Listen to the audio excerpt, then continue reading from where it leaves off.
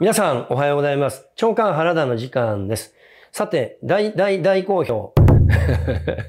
究極の教育育成シリーズです。あの、いっぱいこんなことをお届けしたいんですね。教育大好きですからね。えーさて、えー今日の元気アップクレードです。また後ほど説明させてください。今日のクレードです。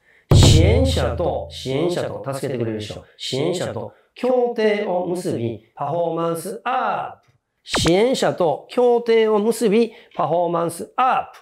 今日の元気アップクレードでした。いってらっしゃい。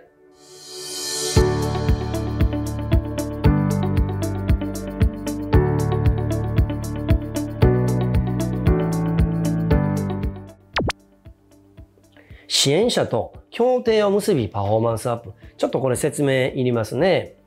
あの、結果を出そうと思えば多くの要素があるんですよね。その、えー一つの要素は何か言ったら、支援者、支援内容というふうにね、呼んでるんです。原田メソッドの長期目的目標設定用紙、成功のシナリオのね、一番下、今回のあなたの目標、ゴールに対して誰に支援者、A さんに、どんな支援内容、どんなことを助けてほしいですかお願いしたいですかそれを作りましょうっていうのがあるね。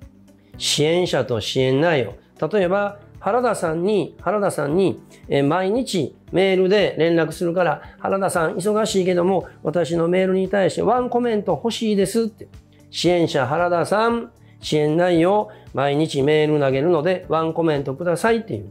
それをしっかり用意をしていくと、自分の短所、苦手なところを他者の長所、力で助けてもらえることができんねん。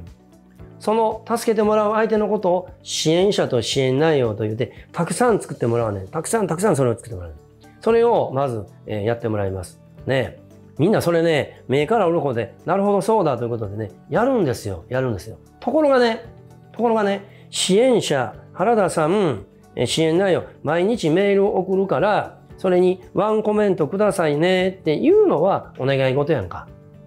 で、そのお願い事だけしてもあかんねん。その次に何をするか言ったら、支援者と協定を結びパフォーマンスアップ。そのいただいたワンコメントに対して私はもうワンコメント本音で返しますと。返しますから必ずという。ね。投げる原田さんがワンコメント、それに対して私が強烈に返信しますと。返信します。でそれを1週間止めたら、1週間分考察して、1週間の終わりのまとめ、また出しますと。私、先生、絶対それやりますから、支援者支援内容お願いできませんかって、そうやって頼まれたの、これ。わかる？だからこういうのを約束ごと、協定を結ぶというふうに言うんです。この3つ3段階、支援者、お願いしたい人、支援内容、その代わりに私はこれ頑張る協定っていう、この3つをしっかり実践実行すると、相当皆さんは夢に近づけることができるということなんです。お願い事頼むだけじゃなし、ね、なしに、だから私はこうしますって。